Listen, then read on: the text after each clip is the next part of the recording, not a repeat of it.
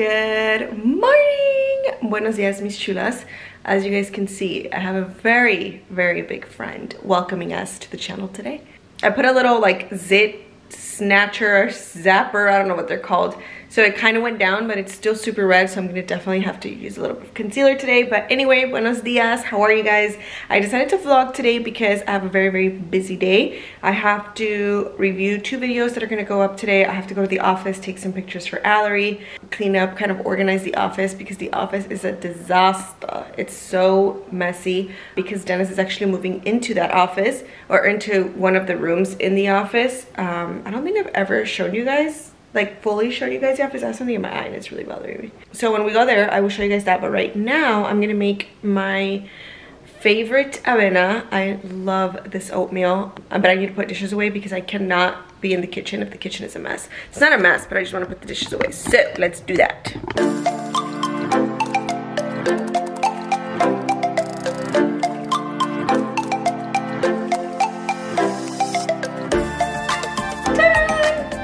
All right, Okay, so this is the oatmeal that I like to make. The brand is Bob's Red Mill. I get it from Sprouts. It's gluten-free steel cut oats. It is honestly the best oatmeal I have ever had. This is not an instant oatmeal, so it's going to take about 30 to 35 minutes to make, but it's so worth it. So the secret to this, you can make it with water or you can make it with milk. I like to make it with milk, but you can also make it with water and then add a splash of milk if you want it a little bit creamier. It's really up to you, but the secret ingredient is cinnamon. If you add cinnamon and a little bit of brown sugar, this is going to taste just like arroz con leche because it kind of has that same texture and obviously much much healthier. You're not going to put a ton of sugar. If you put a ton of sugar then it defeats the whole purpose. It's literally just like a sprinkle of sugar but the cinnamon like the fresh cinnamon not cinnamon powder it has to be a cinnamon stick it's gonna make it taste like straight arroz con leche. So I'm gonna go ahead and make it. And in the back of the bag, it tells you like serving size. So today it's only gonna be me eating it. Normally it's Dennis and I. Um, but so it's just a quarter of a cup of oats and three quarters of uh, water, but I will be using milk. So I will show you guys once it's done. Super easy. This is around my sugar. So this is really all you need and milk or water, whatever your preference is. I'm just going to put the milk and the oats in my little pot all together and just wait until they're ready. And I'm gonna throw the piece of cinnamon in there and the sugar when the milk gets hot so that it melts. I have to clean my stove, so please don't mind that. But I just added the oats and the milk with the cinnamon stick. And as you guys can see, it's super like runny, but you will see in a little bit, it's gonna be almost like that arroz con leche consistency you guys will see and it's gonna taste once the the milk warms up a little bit then I will add the sugar so the sugar melts and it's just this little pack you don't want to add too much sugar so we are officially out of coffee for my Nespresso. So we're going back to our Café de Olla. This is the Nescafe Café de Olla. So it's supposed to taste just like, you know, your, oh no, I don't want, I don't want, I don't want milk. I want creamer. It's supposed to taste like your original café de olla, you know, when you make it with the tamales. That is the best coffee. Like when I go to a restaurant and I see that they have café de olla, I always ask them, is café de olla de la olla or is it this? Um, and when they tell me that it's de olla, I'm just, it's honestly the best. There's a place here in Burbank called Café de Olla. Let me check because it's bomb. They have bomb Mexican breakfast, uh, chilaquiles, everything is so good there. It's in Burbank. Yeah, it's called Café de Olla. It's on Burbank. I mean, it's on Victory in Burbank and they have delicious, probably the best chilaquiles that are not made at home because I do not like when I go to a restaurant and they give me straight chips with like a salsa on top. Oh, no, no. Um, but let me show you guys the chilaquiles. They're pretty fire. They have chilaquiles verdes and chilaquiles rojos, but look. You guys see that? I don't know if you guys can see, but it's so good. If you guys haven't gone there, go. Anyway, the purpose of that story is that they have really good café de olla there. Uh, but this is what I'm making today. So I'm gonna have some café de olla. I'm, I'm boiling my water, can you hear it? Uh, I almost actually broke it the other day because I accidentally wet the bottom and obviously it's like electric. I'm surprised I didn't like electrocute myself. But yeah, so that's what I'm having. I'm gonna, while I wait for my avena, I'm going to review two videos that I'm posting today. I'm gonna review my Spanish video first because that one's gonna go first and then my English. And then get ready and head to the office. So it's a busy day, busy day. This smell reminds me of Mexico. I miss Mexico so much. I think we're gonna be going soon. Like, not soon soon, but soon soon. Probably like in August. Because I need me some, just something about being in Mexico that it just, it's so different. Just the vibe. You just feel like at home. I don't know, it's so weird. All right, so we got coffee made. It's so hot. I'm actually gonna add a splash of milk because it's so freaking hot. Let's try. Oh my goodness, me voy a. Mm. a little bit more creamer. The only thing about making coffee like this is that I can never get it right.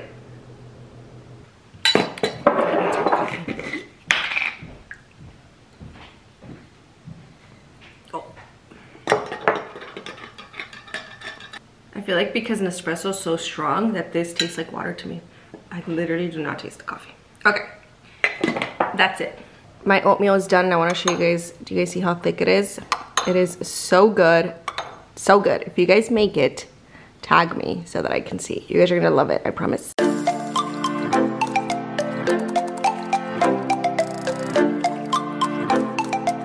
Okay, so I just got out of the shower. I'm gonna do my skincare. Uh, super, I'm gonna do a really fast skin, oh, I forgot my brow products. I brought everything from my studio so that I could do it in here just, ah, just because the lighting is so much better here. But I'm gonna start off with my toner. This is my Murad Hydration Toner. I love to spray this on my face. I just feel like it just preps my skin for everything else and starts hydrating. I actually need to go get my little fan to speed up this process. I like, I love that fan. I got it on Amazon. Um, let me go get it.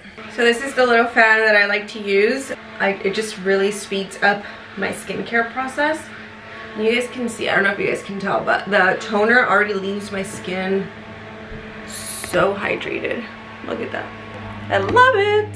So I always start off with that. I don't know if I told you guys, but I was looking for a black curtain rod for a while and I couldn't find one for the bathroom and I found one on Amazon. So I ordered it and I hope I like it. Okay, next is going to be my serum. This one is from Kate Somerville. Kate Somerville. It is their Delicate Recovery Serum. So if your skin has been a little stressed, like mine, you actually don't need a lot of this. I think I applied a little too much, actually. And while my serum sinks into the skin, I'm gonna apply my under eye cream. And this is the First Aid Beauty Brightening Cream. It has like a pearl, peachy pearl tone. So I really like this for my under eye. I, I kind of go between this and my Murad one. But um, lately I've been using this one. And you need a very little amount.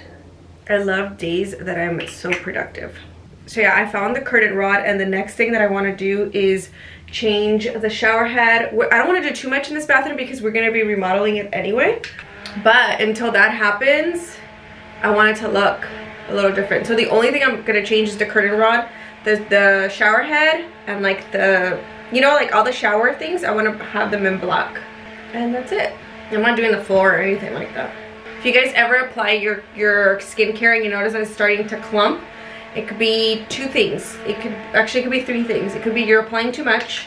It could be that the products you're applying are not mixing. Um, some could be oil-based and water-based and then when you put them together they don't mix. Or it could be that you're not giving them enough time to dry. So you're just kind of like creating a big mush on your face.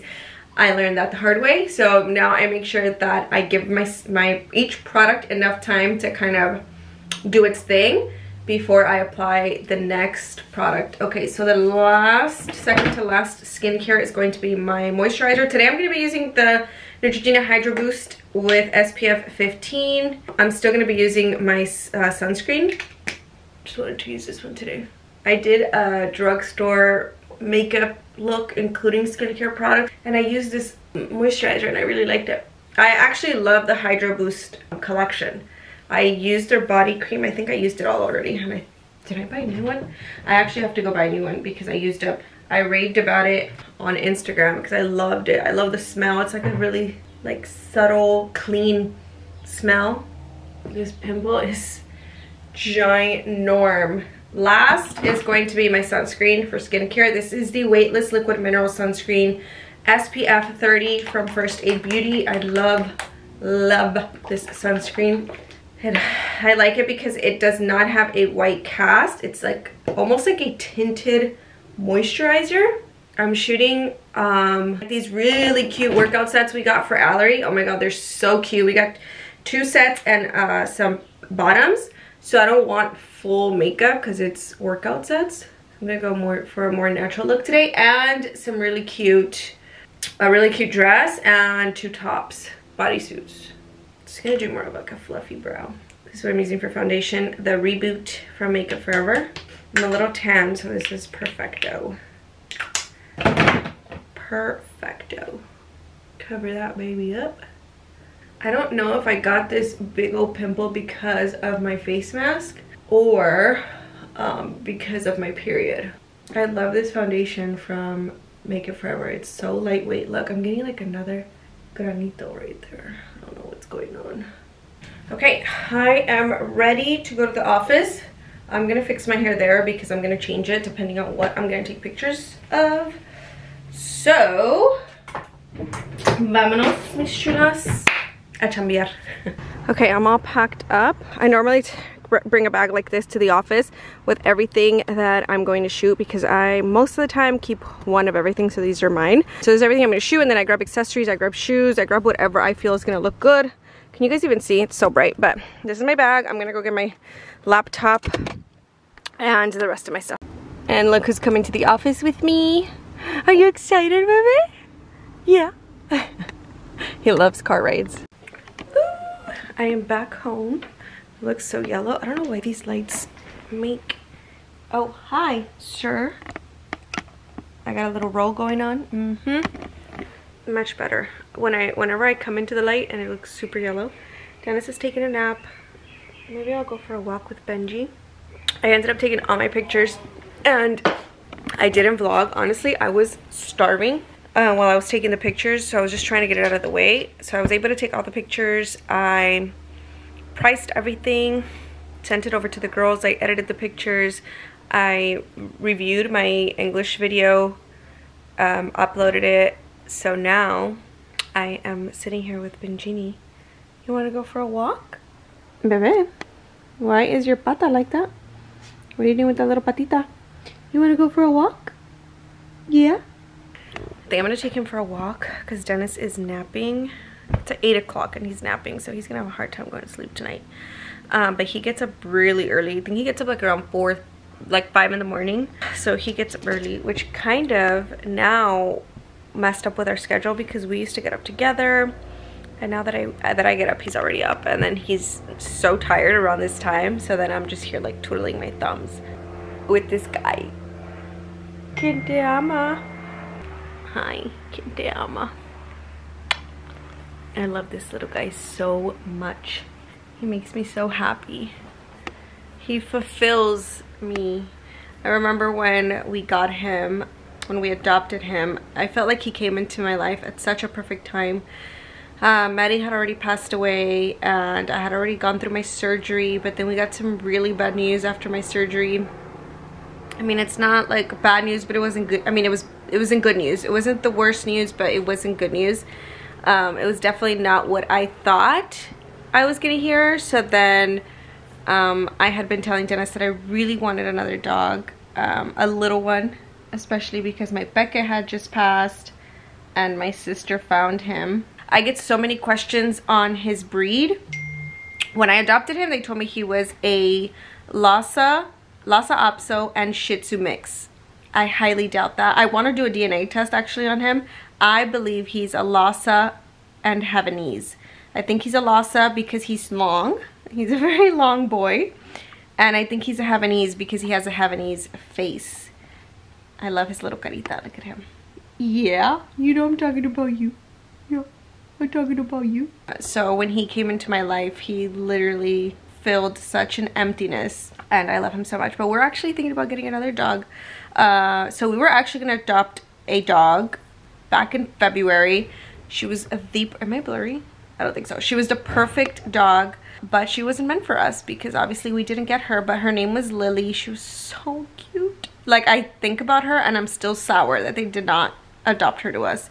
Um, but apparently she had a ton of applications and then at the end they wanted her to go to a home that was an only dog home and I'm like it just didn't make sense. But anyway I always I always look at things like they are meant to happen and whenever I'm going to make a decision like that like a big decision because adopting a dog is a huge it's a huge responsibility I always pray about it and I'm like Diosito if this is not meant to be don't let it happen. So it didn't happen. So I always kind of go with that. But I fell in love with her like she was a year old. She was still puppy. She was little. She was so cute. That was hella sour. I literally cried when I didn't get her because I wanted her so bad. So anyway, um, we're still on the hunt for another dog. I just saw one today, but she actually got adopted. And I want to get a girl because Benji's very alpha. So I, I feel like a girl would be better. He's not going to feel like he has to, you know, walk around like he's the boss. Even though he is. That's the story on adopting another pup. Adopt, don't buy. There's so many dogs that need homes and love and Benji was three when we adopted him and he had a very rough start to life, but you know, we got lucky enough to adopt him. I bought these treats for Benji. They're sweet potato fries. It's just sweet potato baked and look at his lip. Oh my god, can you guys see his lip? It's like stuck. Oh. Anyway, he loves them. And I got them at Home Goods, which is, I know, so random, but sometimes they have really good treats. And I checked the ingredients. It's only sweet potato. And he loves them. You want a treat? Yeah. Here you go. Good boy. I'm actually to get rid of this bed. This was Mushkini's bed, but it's such a big bed. So I'm gonna actually give it to my cousin because she has a big dog and I'm sure she, they'll use it because he has three beds. He does not need three beds. And she has a bigger dog. But he loves those little treats. I'll show you guys the bag. Are you the cutest? Yeah, you are. Yeah, yeah. Oh, you think you think there's more? No, I'm just showing them the bag. There's no more. Okay, this is the bag. Sweet potato fries, dog treats, 100% natural. So it was $10 for the bag. And what I do is I check the expiration date, which they expire in 2021, so they're not expired, and I check ingredients to make sure that they are not trash, because sometimes they'll make it seem like it's something healthy and it's not. But look, ingredient, sweet potato. So that's all there's in this. I'm sure they just bake it and like dehydrate it. And you get yourself some little sweet potato fries for the bebés. Sweet potato fries. Okay, I'll give you one more just because you're staring at this bag and because you're cute.